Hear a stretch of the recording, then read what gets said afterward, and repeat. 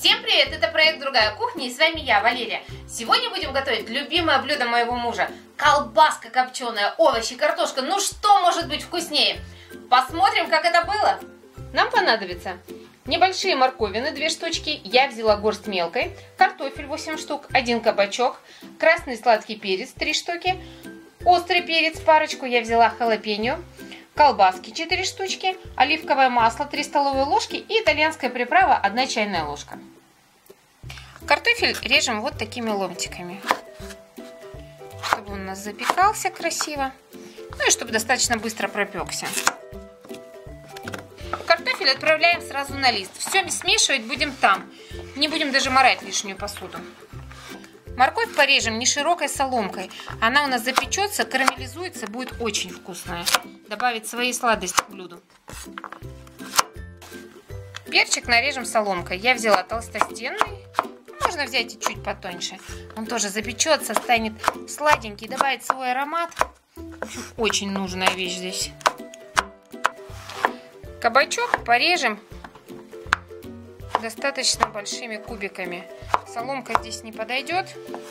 Кубики будут нормально. Кабачок у меня молодой, поэтому кожицу я счищать даже не буду. Вы ориентируйтесь на свои продукты.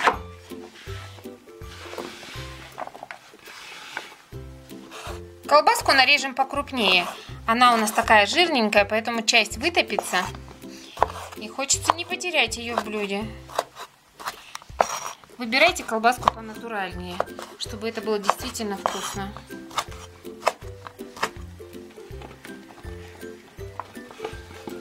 Колбаса у меня в натуральной оболочке, поэтому я оставляю ее и не чищу.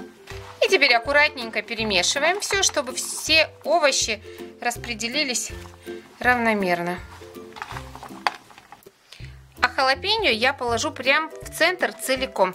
У меня вот такие красивущие халапеньо с обалденным названием. Называются они Pumpkin Spice, тыквенные специи. Они дадут легкую-легкую остроту, но только если их разломить. Поэтому Саше и мне прям в тарелочку будет вот по одному, по одному халапешку. Можно еще такой вот добавить про запас. Теперь смешиваем специи с оливковым маслом. Оливковое масло где-то у меня 4-5 столовых ложек. Такая красотень. И начинаем смазывать. Вы обратили внимание, что я даже не солила ничего, потому что ну, колбаски достаточно соленые. Если вы употребляете больше соли, смело можете подсолить.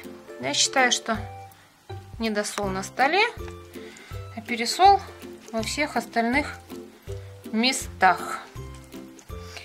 Смазываем и отправляем в духовку. Посмотрите, как красиво, как вот буквально нарядно, ярко все это, ароматно. Потрясающе. Можно, знаете, еще добавить сюда при желании чесночок прям целиком. Будет тоже очень вкусно. Или цветную капусту, или брокколи, или кальраби кубиками. В общем, все, что вы хотите. Смазали, отправляем в духовку, запекаем при температуре 200-220 градусов минут 30-40. Ориентируйтесь по своей духовке. Все готово, остался последний штрих. Натираем грамм 70 сыра сверху. Он тоже даст свою соленость, поэтому я и не стала подсаливать. Но можно и подсолить. Смотрите, какая красота. Сыр сейчас расплавится. Даже можем больше в духовку и не ставить. Пусть он вот так вот растекается. Вах-вах, вкусно будет нереально.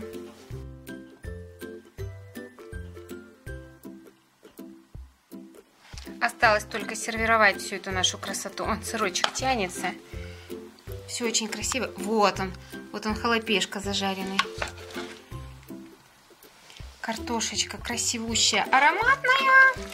Ну что тут может быть невкусного? Тут все очень вкусно. Картошка у меня попался сорт, который разваривается. И то она даже целенькая все равно осталась. Не забываем колбаску. Это отдельно. А, отдельный любимый компонент моего мужа.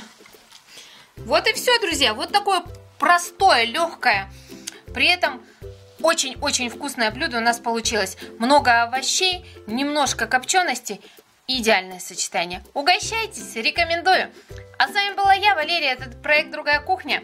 Всего доброго, пока!